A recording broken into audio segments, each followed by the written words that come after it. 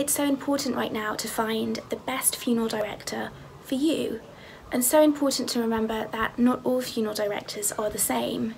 Right now, they're going to be guiding you through some really difficult decisions, so it's more important than ever to find someone who you connect with, someone you can talk to, and someone who you think can support you through this time.